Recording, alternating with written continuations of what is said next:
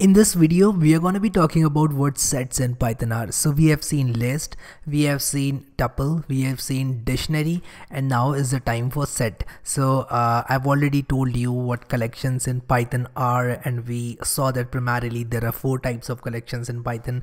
Now what I'm going to be doing is I'm going to be creating a new file tutorial12.py and let me uh, write sets in Python here. If you are into mathematics or something, you must be knowing that set is a collection of well-defined objects. Now this is exactly the same thing, uh, but uh, since all the uh, students that are watching this course are not into mathematics, I'm gonna be uh, explaining it from scratch. Let us say I have this my set and uh, the syntax for uh, list was square bracket, the syntax for tuple was parenthesis uh, the syntax for dictionary was this curly brace and the uh, syntax for set is also this curly brace. So you might be thinking that if the syntax for dictionary and set is the same how will python interpreter know that whether i want to create a set or a dictionary the answer is in dictionary we have key value pairs but in set we have direct values. So let us say I have this 1, 2, 3, 4 and if I control s to say let me add some more repeating elements and now I'll be saying print uh, a where a is equal to type of my set. Uh, oops my set control s to save and I am gonna be uh, running this program one more thing I want to show you is in Visual Studio Code, you can also right click and close other tabs. So if you click this close others, all but this tab will be closed. So what you have to do is uh, run this program and you'll see class set here. This means that this is a set. Now you must be thinking, what is set Harry? Why are you teaching us what a set is? So if I print set, if I say a is equal to set my set, I will be seeing uh, the value of my set printed uh, on my output window. So you can see I have 1, 2, 3, 4, 5. But I had 1, 2, 3, 4, 1, 4, 5. This is the beauty of set. Set is an unordered and unindexed collection and it contains only the unique elements. So if you have repetitive elements uh, your elements will be ignored and python will only display each element once. So this is 1 2 3 4 5 and your uh, repeating elements will be automatically uh, removed. So this is how set works. Now let us look into the functions that python offers for set. So if i do something like my set dot add and if I add 56 then if I print uh, my set so if I say a let me add it before saying a is equal to my set and if I control s to save and run it you'll see that 56 has been added. So uh, this is use. This will add 56 to the set. So this was dot add method. Now uh, there is one more method which is called dot update.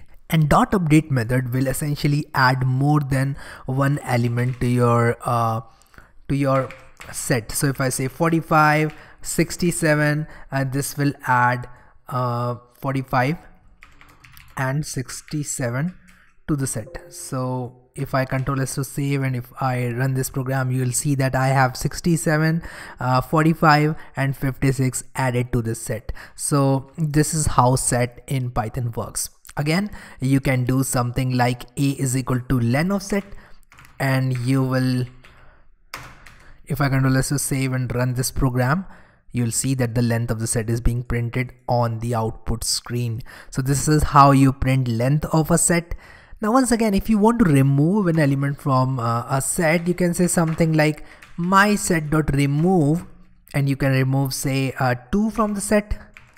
Control S to save if I do something like a is equal to my set. I hope you're understanding why I'm using this a variable. I'm using this so that I have only one print statement and I'll keep on updating this variable and I will put it whatever I want to see inside my output window if I run this program now you'll see that 2 no longer appears in the set.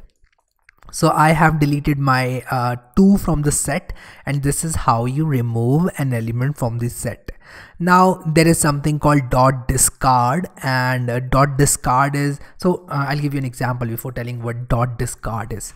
If I try to remove 25 which is not present in the set and if I run this you'll see that I have key error 25 uh, what essentially Python is telling me is that you do not have 25 uh, how can you remove 25 if you don't have it in the set? So uh, if I want to uh, be free from this error uh, if I want to be free from any sort of key error what I will do is I will do something like discard. So instead of this I'll do something like this. So let me write this will throw error if 25 is not there in my set.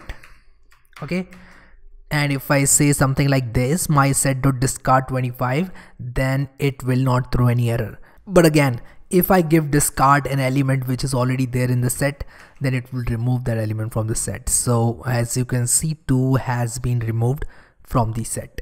So this is basically how set works. Now again we have something like uh, my set dot clear and it will essentially clear your set. So if you uh, print your set it will print an empty set. Now you can see this set here. This essentially means that this set is an empty set. This is a blank set. This is how python prints an empty set. Now uh, once again we can always use uh, del my set. And if i do something like del my set it will get rid of my set completely. And i will see an error here because my set is no longer there in my program now. So if i run this program i should be seeing an error saying that my set is not defined because I have deleted my set in line number 10 and I have tried to access it in line number 11 which is wrong. So this is how set essentially works in Python. I'm going to be giving you some more methods that you can experiment with.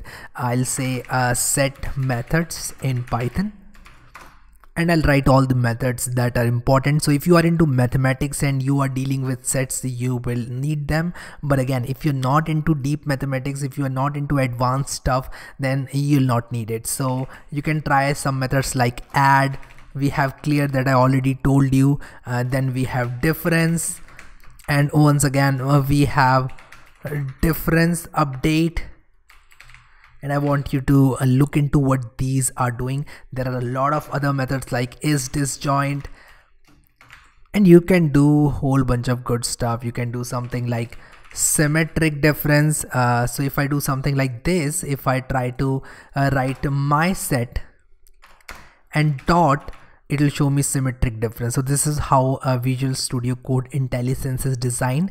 If my set has any method called symmetric difference it will show me that method. So you can uh, see what this method is doing. You can go to the internet and search for it uh, symmetric difference.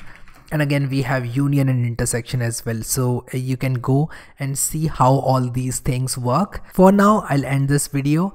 Let me comment this out and let me say that this line will throw error